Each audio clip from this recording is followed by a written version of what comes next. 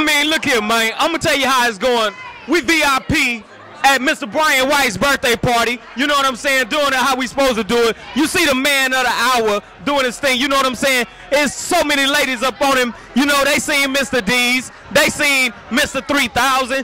They seen, uh, what was that other one that I love? Mo- Motives too. You know what I'm saying? They seen. So everything that they seen, they need to have. So, you know, when they got Mr. Brian White in the building, they don't know how to act and react. You understand what I'm saying? You heard me.